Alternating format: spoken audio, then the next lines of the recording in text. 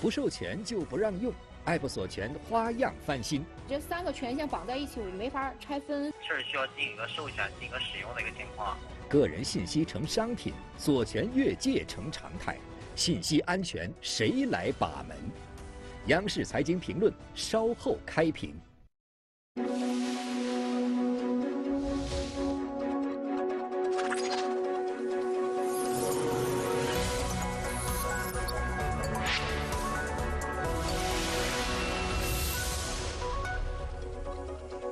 各位晚上好，欢迎来到今天晚上的央视财经评论。现在基本上呢，已经是人手一个手机了。一般开手机的时候，大家都要设置一个密码，因为这个手机里边有太多我们的个人信息和隐私。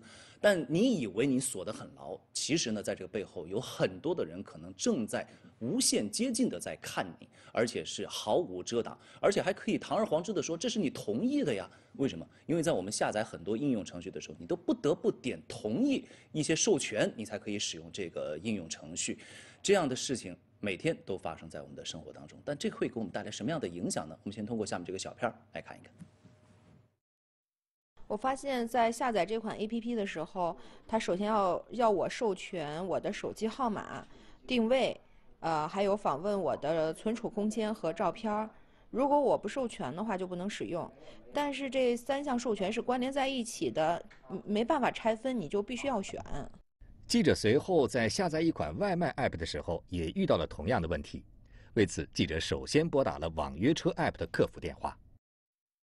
我想问一下哈，在下载的过程中呢，它要求授权，就比如说它必须要访问我的这个储存和照片这个功能，我如果点不同意的话，这个就无法下载使用，这个是为什么？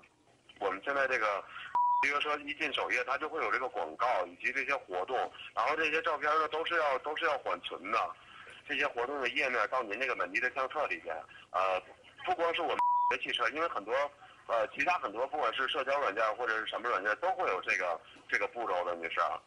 你们一个这个约车服务，干嘛还要访问我照片啊？不是说下载，它是要访问我的照片啊，只能是授权以后才能使用，对吧？啊，对对对。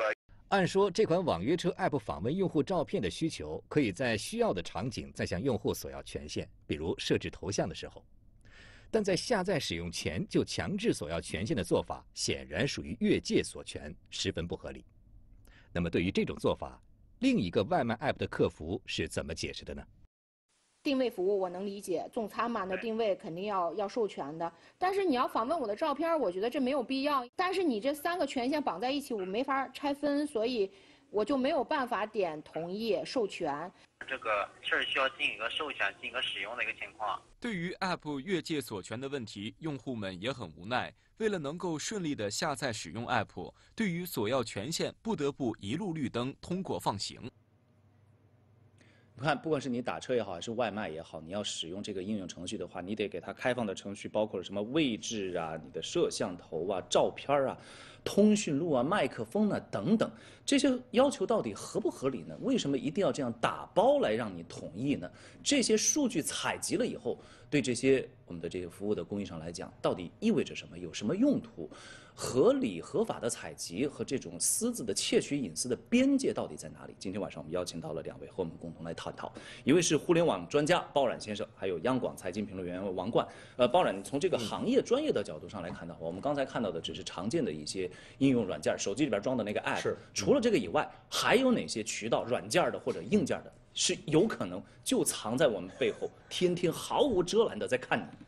其实最直接的一个就是什么呢？就是所谓的人工智能的语音助手啊。我们都知道，人工智能语音助手呢，不管是嘿什么什么某某某啊，它其实都有一个唤醒功能。我们从逻辑上来推论，我家就有啊。对 啊，它既然你能随时唤醒它，就说明它一直在待机准备，对不对？它一直待机准备的话，实际上它一直在不停的采集你所提供的很多的环境声，它就一直在听我。当然了，只有你说出了它的唤醒词的时候，它马上就激活了。这是一个很简单的逻辑。至于这些他采集过的数据是听过就忘，还是被秘密的传到了云端，传到了这家公司的服务器端，这咱们就不可而知了。这是长了顺风耳的，还有 千里眼的那摄像头。那当然了，很多的软件是 App 的话，非得要调用你的摄像头的功能。我们说，呃当你的人脸，我们举一个例子啊，说，哎，呃，你把你的家里钥匙给我行不行？我想你一般是不答应的，对吧？但是说，哎，你把你的人脸借我用用行不行？哎，很多用户就答应了。实际上现在刷脸可以支付，刷脸可以解锁，刷脸可以干很多的事情存折密码，啊，都是啊，对啊，密码写我脸上。是啊，所以这样的一个很多的功能，它包装上了一些高科技新技术的外壳之后，让你觉得好像很好玩，实际上用户在不知不觉的过程中让渡出了自己的非常宝贵的一个非常重要的工具或者资产。如果别有用心的话，这就是你身边的间谍呀。那当然了，嗯，王冠看的是有哪些？呃，我觉得现在呢，实际上我们说 A P P 或者叫应用程序啊，从问世到现在十一个年头，由于我们整个的中国内地的互联网发展非常的迅猛，它已经我们的这个从移动支付啊到衣食住行方方面面无所不包。那实际上它现在并不仅仅是我们生活中的助手，而是刚需。为什么这么说？我们来看一看现在整个中国内地的 A P P 的基本面。我们截止到去年年底，中国内地的 A P P 有四百五十万个。嗯，那到今年这又快结束了啊，它的数量会更多，在全球是排第一的。我们平均每一个手机用户下载了多少 A P P 呢？是五十六个，方方面面。我们每天用多长时间呢？是四点七个小时。那这实际上我们快赶上快赶上大半天的一个上班的时间了，对吧？那实际上在我们生活中，它是一个非常高频的应用。然而，根据中国呃这个消费者协会的统计，中消协的统计，我们来看一看，呃，百分之八十五的用户都遭遇过。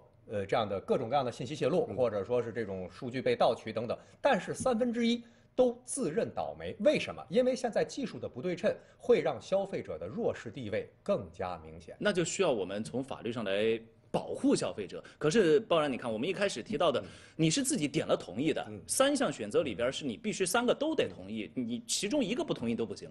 这样的打包必须捆绑的同意，合理合法吗？我觉得是这样，它肯定是不合理的。但是在司法界定的层面，现在才处于模糊的地带。为什么呢？因为我们呃相关的法律法规还没有对此进行特别精准的描述和界定。但是呢，他山之石可以攻玉，我们可以看一看，在欧盟地区啊，所谓叫《通用数据保护条例》GDPR 已经正式开始实施了。它就明确的规定，你任何一个互联网公司、科技公司，你这个平台，你可以在用户允许的情况下。采集用户的所有数据没问题，用户说 OK，你就可以采集。但是你采集多少数据，你要负多少的责任，对吧？你当你数据采集了以后，然后马上倒手转卖出去了，或者由于你的保护不力，造成了数据在云端平台的泄露，或者由于你的不合理的非法的使用，导致用户的利益受到损失，那你要担负全责的，处罚起来是很重的啊。这这是法律上的保护。可是为什么欧盟要制定这么一个看似有点前卫啊？现在其他国家和地区好像很苛刻嗯并不太常见。是不是因为到了五 G 时代，尤其今年元年，万物互联，像你刚才描述那些千里眼、顺风耳，以后变得更多，采集、搜集更容易了。其实这里面有点细思极恐了。比如举个例子啊，五 G 时代它伴生着很多新的场景和应用啊。智能家居是一个典型的应用。智能家居是意味着什么？从门锁开始，到家里的各种家电设备，统一的都基于云端的平台来进行整个的调度的使用。而这种物联网的环境一点突破啊，就殃及其余。那你整个的家具不设防了，相当于是第二个无人驾驶。我们在科幻片里头或者那种大片里头看过，当你黑客破解了无人驾驶的数据之后呢，你整个的汽车就被接管了。车就直接撞向你了。啊，那就不是一个交通工具，那是一个杀人工具了。技术上想起来细思极恐，但是王冠，这个技术上扎不紧的篱笆，立法我们得有个抓手吧？这该怎么扎这个所以？呃，周勇说到一个非常关键的问题，就是现在立法保护个人数据需要总的抓手。实际上，我们看到，呃，全国人大已经明确表态了，我们的个人信息保护法已经进入了一个立法的相应的论证阶段。是的那么，根据我们目前现行的法律，比如你进入到了犯罪层面，我们刑法修正案。明确规定，那情节极其严重是三年以上七年以下有期徒刑。但是大量的其实它是属于民事侵权领域，是的民事侵权领域是当事人在受到损失之后你要举证的。嗯，那我又说到技术上不对称的问题，我在吃一盘菜，我吃出来苍蝇，我拍张照说你怎么搞的，对吧？你得赔啊，等等，我你带我举证体检，对我很容易举证。那我现在信息被调用或者被过度的调用，我完全不知情，我所以我都没有痕迹。要有这个权利才对，所以他是说叫无痛伤害。对，那现在呢，实际上我们有四四十部左右的相关法律，三十部左右相关法规，都是有着相应的这种个人信息的保护的。嗯，但是与此同时，刚才我们谈到了进入五 G 时代，这种数据会几何级的爆发。总的立法的思想、总的抓手、总的一个指导的纲领应该是什么？这个问题变得越来越迫在眉睫。对，看来我们的技术进一步，有时候立法恐怕还需要要求它进两步才能赶得上。但刚才说到一个大家流行的词儿叫无痛伤害，王冠说的，你可能感觉不到，这个无痛伤害有时候也是有价的，这就是你的个人信息，有时候被一些不法分子放到网上，直接拿去就去卖了，而且还卖得很便宜。我们来看看。记者在互联网平台转转上，以关键词“人脸数据集”搜索相关信息，迅速弹出了这样一件产品，商品名为“人脸相关算法训练数据集”，标价十元。记者打开商品介绍后看到，这个数据集包含五千多张人脸照片，很多还是一个人不同表情的脸部照片。记者通过平台的聊天功能和销售者取得了联系。当记者询问销售者是否经过照片所有者的授权时，销售者表示，经过授权的肯定不是这个价了。就这样，没有经过照片所有人授权的人脸照片在互联网平台被公开兜售。非法交易的话，对我们个人的隐私数据的侵犯是非常严重的，而且没有经过我们的允许，它会跟其他的一些个人的一些数据信息啊进行整合以后，非常精准的能够对人进行画像，从而。从事非法的各种交易。记者在百度一个名为“快眼”的贴吧，也发现有销售者在兜售人脸数据。记者联系到这位 QQ 网名为“泯灭”的销售者，他告诉记者，不带身份证的大头照五毛钱一张，高清；还有一种是姓名、身份证照片、银行卡和手机号都有的，号称四要素，四块钱一份。记者了解到，这些数据可能被用于申请信用贷款，甚至注册公司。给泄露信息的用户带来巨大损失。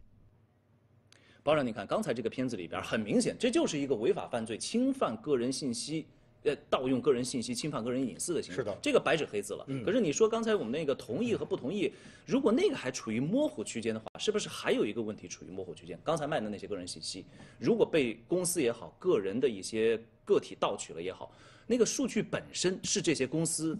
或者个人的还是我自己的，这就是最大的问题，就是个人数据的所有权的问题，对吧？现在我们都在谈，现在叫 DT 时代，D 就是数据的意思，对吧？然后我们还说到人工智能时代，人工智能就是算法、算力加数据，这是三个基点。好，无论怎么看，数据都是未来，以至从现在开始的最重要的这样的整体的信息时代的资产之一。那么，当我们个人的数据被各种各样的公司平台采集之后，首先我个人的观点是，我们要明确，用户才是真正拥有我们个人所上传数据的所有权，但已经很多公司，我刚才那个片子里边那个打车的也好，订外卖的也好，已经采集了我的这个资产了。你如果说这个信息是我的资个人资产的话，我现在要把这个资产要回来，是那我们法律支持吗？当然了，在我们目前的国内的很多的法律法规中，像刚才王冠雄提到的，其实都是惊鸿一瞥，都只是点到为止。但是我们还可以参照 GDPR。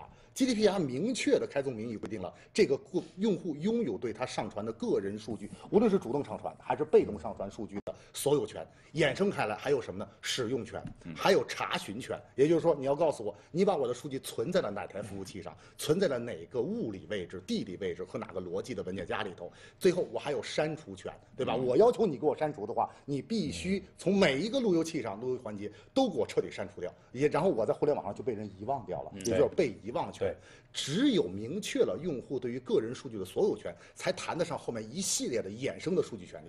这个 GDPR 确实给我们上了很好的一课，开创了一个起码是欧洲的一个选择吧。是，不知道其他国家或者地区会不会有类似的选择。但是王冠也有一个大家可能不好平衡的问题，这边你是监管的严了，像 GDPR 欧盟这样看得很紧，但那边呢又需要有一定的空间，大家。既然是数据时代，说这个数据是一种新能源或者新的战略资源，它的确要去挖掘、去利用它。你要给它这个空间，这个中间我们到底应该去怎么平衡它？我觉得周院说的非常关键，就是我们从全球视角来看，该如何看待整个数据的有效管理的问题。我个人对于欧盟的这种。相对严苛的管理实际上是持保留态度的，因为从中国到全球经济都有下行压力，你怕扼杀它的活力。当然，我们根据去年的呃我们整个统计局的年报，数字经济占到了整个中国经济总量的三分之一左右。而今天，不管是互联网加还是五 G 加，对于我们下一步的中国经济的转型升级的重要性，怎么评估都不为过。在这种情况下，我想强调的是，监管从严是战术，科技向善是战略，一定程度上。它既是技术问题，我们要加强监管；法律问题，这点加强立法都毋庸置疑。它更是伦理乃至是哲学问题。嗯，到底该如何看待数字的存在，在个人和经济发展，在个人和机构，在个人和政府之间，该是一种什么样的平衡和归属权的关系？这实际上需要全球共同的一个治理的智慧。你觉得到了咱们国家，尤其是现在数字技术发展那么快，市场规模那么大？现在挖掘和采集的这个爆发式的增长过程当中，是不是也到了一个你说的我们要启蒙一下大家，上升到一个哲学的高度上来看待这个问题？明确一点，就像包冉说的，这个东西是我们的个人资产，归我的，没是，这点是毋庸置疑的。就像呃包冉刚才谈到的，我们别人跟你要你家门钥匙，你肯定觉得你有毛病吧，对吧？一个陌生人啊，对，你告诉我存折密码。但今天我们很多时候，因为 A P P 是刚需嘛，对你。同意，同意，打勾，打勾，打勾，就一切就都同意了。我的人脸就给你了。所以今天在这方面的，实际上刚才的，我觉得刚才周韵说的是权力唤醒，也是个人责任的唤醒，非常同意。是的，而且我再补充一点啊，说实话，就在 GDPR 正式生效那几天啊，我的邮箱里收到十几封的自动邮件。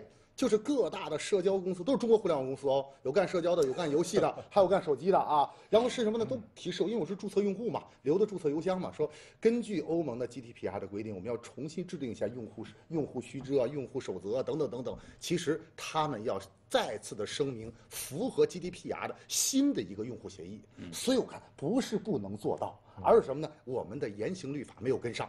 如果我们的执法、立法都很严格的话，都很到位的话，这些公司啊，麻利儿的都能做到。抱歉，我我持一定的保留意见。我觉得管数据如烹小鲜，嗯，这个道理和火候是非常需要拿捏分寸的，所以不能放任，也不能管死，这是非常考验监管智慧。对，这个平衡很难拿捏。但你但是有没有一个重点可以抓到？爆然一个小小很短的时间，起码。那么多东西可以采集，万物互联，所有的东西都有可能。但是它又有一个平台啊，有巨大的这种平台公司在那个地方。我们监管的时候，是不是首先应该盯准这些公司？当然了，欧盟的第一张罚单开给了 Facebook，第二张罚单开给了万豪酒店，都是大平台，对不对？都是巨头，一个是数据平台，一个是应用平台，对吧？所以说。在整个的处罚监管的过程中，一定盯住头部平台，没有错。嗯，所以在这一点上，我们是需要有一定的战术。对，同样在战略上也要有一定的方向的。好，相信今天晚上我们谈论这个问题呢，一定在未来的这几年当中，是大家会不断的去谈论的一个问题。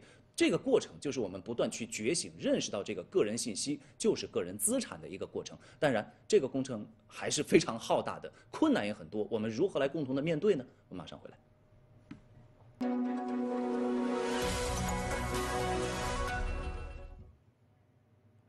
其实现在流行一个词叫无感伤害，就是说在背后呢在采集你的个人信息，甚至隐私。但有时候这种无感伤害是有价的，那就是我们所有的人都有可能成为隐私被泄露的受害者。早在一九九四年，凯文·凯利在《失控》这本书里边就提到，网络会把我们的隐私从道德领域带到市场领域，隐私会变成一种商品。但是这种商品，它毕竟还有我们作为人享有的隐私权的属性。这个问题要平衡好，我们的社会发展才不会。失控，感谢您关注我们今天晚上的央视财经评论，明天见。